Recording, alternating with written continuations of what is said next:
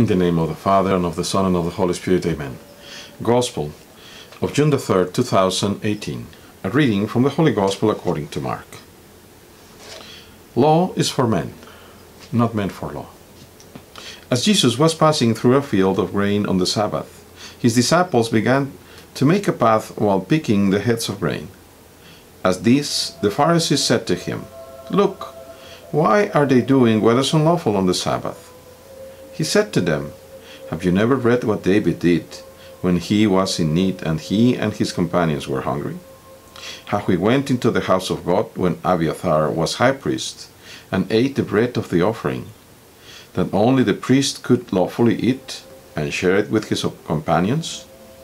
Then he said to them, The Sabbath was made for man, not man for the Sabbath. That is why the Son of Man is Lord even of the Sabbath. Again he entered the synagogue. There was a man there who had a withered hand. They watched him closely to see if he would cure him on the Sabbath, so that they might accuse him. He said to the man with the withered hand, Come up here with us, before us. Then he said to them, Is it lawful to do good on the Sabbath rather than to do evil, to save life rather than to destroy it? But they remained silent looking around at them with anger and grieved at their hardness of heart. He said to the man, Stretch out your hand. He stretched it out, and his hand was restored. The Pharisees went out and immediately took counsel with the Herodians against him to put him to death. Gospel of the Lord. Praise to you, Lord Jesus Christ. Well, okay, again we have this question there are many foolish people that would think that law is more important than spirit. And I'm not saying that the Spirit, especially the Spirit of the Holy Spirit, the Spirit of God, is unruly or unlawful. Far from that. But God, above all, is love and mercy. And it seems to me very foolish to try, as the Pharisees did, to impose a canon law against mercy.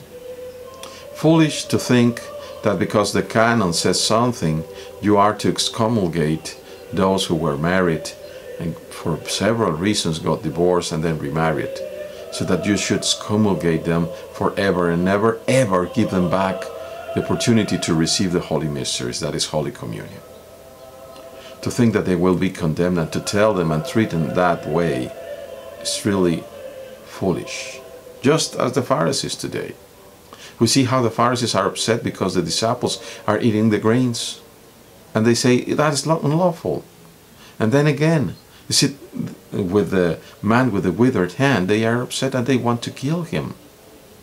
They decided to kill him that day because the Lord was going against their, their rules, against their canon.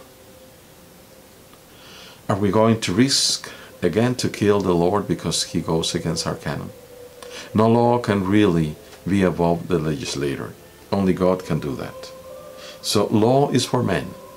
Being that law is like a rail, a handrail, so that we can direct ourselves and help ourselves. But that does not resolve the entirety of mercy of God or love.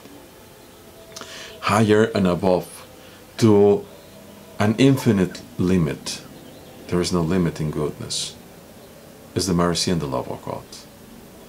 And we should take heed and pray, first of all, for all of those who believe that they are above every, everything because they try to comply with a certain law. They are far from God. Let us pray for them too. But let us pray for us all that we might become humble and really follow, follow our Lord with all our hearts. And may God who is Father, Son, and Holy Spirit, send his blessing on you today and always.